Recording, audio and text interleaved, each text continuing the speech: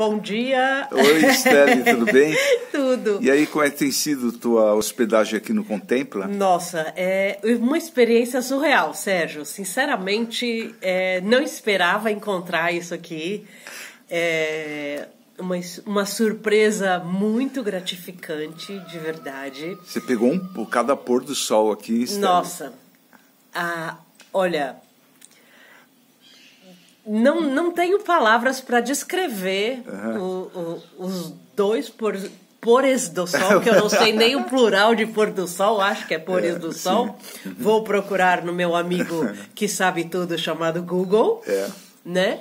É, mas assim, é, é, de, de ficar estarrecida mesmo, né? São é, contemplativos é, mesmo, não é né? à toa que eu dei o nome aqui de contempla. Não, porque olha, aqui é um lugar para contemplar. É de contemplação mesmo, de, de ficar assim. E a gente estava falando também da, da, do canto da galinha, é o boi mugindo, é a natureza Nossa, se expressando. Eu ouvi o galo, gente, eu não sabia o que era ouvir o galo. Eu moro em pleno Itaim Bibi.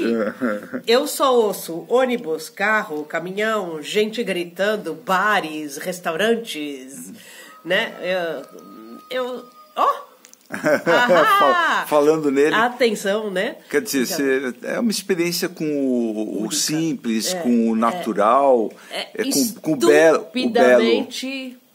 maravilhoso. Que bom. Obrigado, viu? Volte sempre. Olha, e convidando as pessoas, vou dar, mostrar um pouquinho aqui do Contempla e convidar as pessoas para vir para cá. Mas te digo, muito mais, superou demais as expectativas, muito mais do que eu esperava. que bom, Estelle. Obrigado pelo depoimento, tá?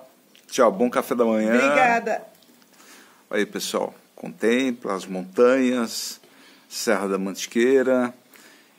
E aqui, café da manhã aqui, nesse espetáculo da natureza.